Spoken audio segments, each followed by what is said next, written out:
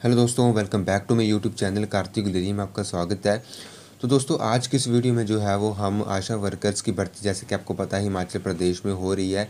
आशा workers की भर्ती सभी ज़िलों में जो है वो यहाँ पे हो रही है। और तो उससे रिलेटेड जो है वो आज हम आपको जो है वो वीडियो में बताएँगे कि किस ज़िले में जो है वो आपकी भर्ती स्टार्ट हो चुकी है। लगभग सभी ज़िलों में जो है वो आपकी भर्ती स्टार्ट कर दी गई है। और आपने जो है वो इस वीडियो में हम हम आपको बताएँगे कि क्या एज क्वालिफ़िकेशंस रहेंगी एग्ज़ाम होगा कि नहीं होगा, आपका और एग्ज़ाम जो है वो अगर नहीं होगा तो आपकी सीधी भर्ती जो करवाई जाएगी।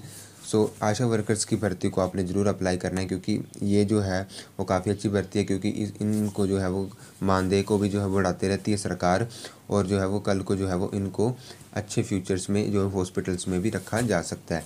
तो आपने जो है, वो ज़रूर से यहाँ पे अप्लाई करना है। काफ़ी अच्छी नौकरी है यहाँ पे, ये रहती है। पर ओनली महिलाएँ ही इसमें अप्लाई कर सकते हैं, पुरुष जो है, वो अप्लाई नहीं कर सकते हैं।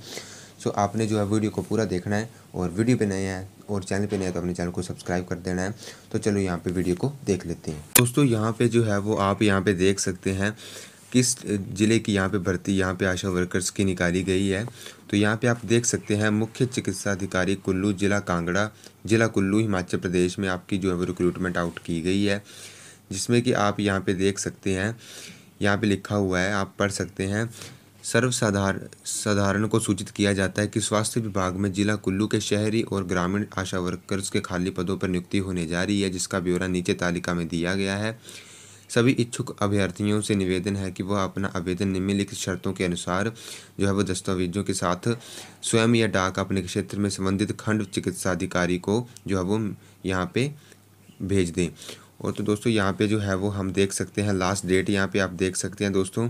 तो यहाँ पे आप देख सकते हैं 25 मई इसकी लास्ट डेट है शाम चार बजे तक आप फॉर्म को सबमिट यहाँ पे जिला चिकित्सा अधिकारी खंड चिकित्सा अधिकारी के पास जो है वो यहाँ पे जमा करवा सकते हैं सो यहाँ पे जो है वो नीचे हम चलते हैं और यहाँ पे जो है वो यहाँ पे हम देख लेते हैं कि क्या जो है वो कि, किन पदों पर जो है वो भर्ती यहाँ पे निकाली गई हैं क्या देख सकते हैं तो यहाँ पे अन्नी में आप देख सकते हैं निम्न ग्राम पंचायतों में यहाँ पे आप देख सकते हैं पद निकाले गए हैं जिसमें कि आपके यहाँ पे आप देख सकते हैं, टकारसी, जोबन, रोपा, लगोटी, कराड़, खनाग, कोहिला, दुशाड़, और यहाँ पे आप नीचे देख सकते हैं, बंजर में वैकेंसी निकाली गई, जारी में वैकेंसी निकाली गई है, और यहाँ पे लिखा भी गया है कि application to be submitted to the block medical officer यहाँ पे आपको, आप देख सकते हैं। तो दोस्तों, इस प्रकार जो है वो यहाँ पे आप देख सकते हैं ब्लॉक वाइज और पंचायत वाइज आप अपनी जो है वो पोस्टों को देख सकते हैं।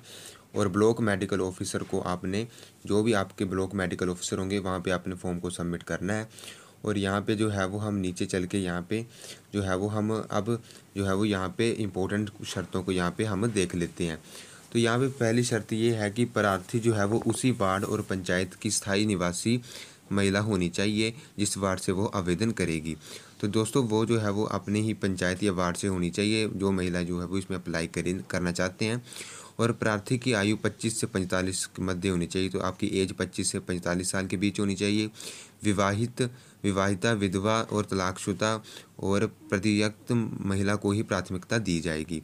और ग्रामीण आशा के लिए एजुकेशनल क्वालिफिकेशन दोस्तों कम से कम आठवीं पास रहेगी। और शहरी आशा करता, कार्यकर्ता के लिए दसवीं पास होना अनिवार्य है। और आवेदनकर्ता स्थानीय भाषा बोलने में जो है वो समर्थ होनी चाहिए, क्योंकि उसे स्थानीय भाषा जो है वो आनी चाहिए। साक्षात्कार की तिथि, स्थान व समय प्रार्थी को डाक व दिए गए मोबाइल नंबर द्वारा सूचित कर दिया जाएगा।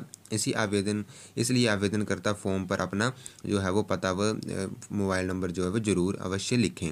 आवेदनकर्ता सादे कागज़ पर अपना पूरा बायोडाटा लिखकर उसे जो है राशन कार्ड, आधार कार्ड, आठवीं, दसवीं का प्रमाण पत्र अतिरिक्त शैक्षणिक योग्यता, चरित्र प्रमाण पत्र पर उसी बोर्ड और वार्ड और पंचायत के स्थायी निवासी होने का प्रमाण पत्र अनुसूचित जनजाति, जाति, अन्य पिछड़ा वर्ग, गरीबी रेखा के नीचे का प्रमाण पत्र और शादीशुदा विधवा, एकल तलाकशुदा का प्रमाण पत्र सभी प्रमाण पत्रों को जो है वो साथ अटैच करके दो पासपोर्ट साइज़ फ़ोटो के साथ जो है वो अटैच करके जो है वो ब्लॉक मेडिकल ऑफिसर को जो है वो सबमिट करवा देगी। आवेदन के लिए जो है वो कोई प्रारूप नहीं है। अतः आवेदन को सादे कागज़ पर ही आपने जो है वो यहाँ पे देना है दोस्तों। और यहाँ पे जो है वो आधे अधूरे आवेदन स्वीकार नहीं किए जाएँगे। और चयनकर्ता समिति के जो है वो अध्यक्ष बिना कारण बताए किसी आवेदन को जो है वो निरस्त भी कर सकते हैं। तो दोस्तों, एज आपकी पच्चीस से पैंतालीस साल रहेगी और शहरी उसमें जो है वो वहाँ पे ग्रामीण पंचायतों में जो है वो यहाँ पे दसवीं पास होना अनिवार्य है। और जो है वो ग्रामीण कार्यकर्ताओं के लिए एजुकेशनल क्वालिफिकेशन आठवीं पास रहेगी। सादे कागज़ पर आप अपना बायोडाटा लिखकर मोबाइल नंबर लिखकर और सभी अपनी एजुकेशनल क्वालिफिकेशंस और जो भी सर्टिफिकेट्स आपके होंगे, उसको अटैच कर कर आपने जो है वो ब्लॉक मेडिकल ऑफिसर जो भी आपके गाँव के होंगे ब्लॉक के वहाँ पे आपने सबमिट कर देना है। तो दोस्तों, इस प्रकार से आपने फॉर्म को अप्लाई करना है। सो यही आपको जो हमने आज